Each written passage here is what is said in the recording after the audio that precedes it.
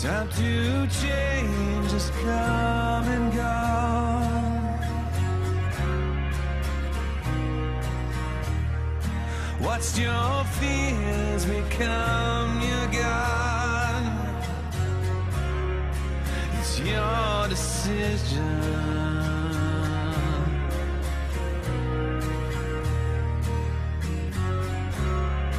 It's your decision.